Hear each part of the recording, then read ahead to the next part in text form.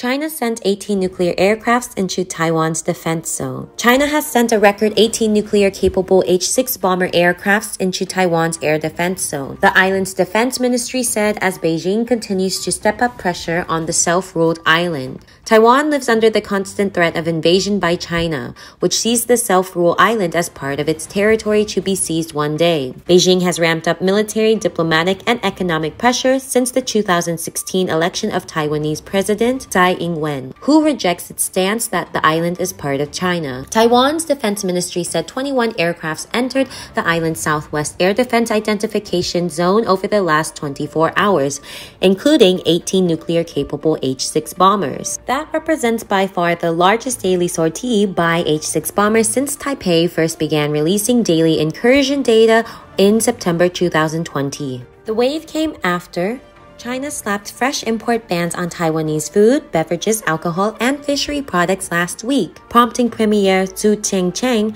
to accuse Beijing of violating international trade rules and discriminating against the island. The H-6 is China's main long-distance bomber and is able to carry nuclear payloads. It is rare for China to send more than five H-6 bombers in one day, but sorties have increased dramatically in recent weeks. Until recently, October 2021 was the month with the largest number of H-6 flights on record at 16. But last month, China sent 21 of the bombers into Taiwan's ADIZ, and the current tally for December stands at 23. Many nations maintain air defense identification zones, including the United States, Canada, South Korea, Japan, and China. They are not the same as a country's airspace. Instead, they encompass a much wider area in which any foreign aircraft is expected to announce itself to local aviation authorities.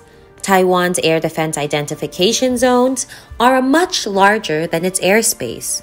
It overlaps with parts of China's air defense identification zones and even includes some of the mainland.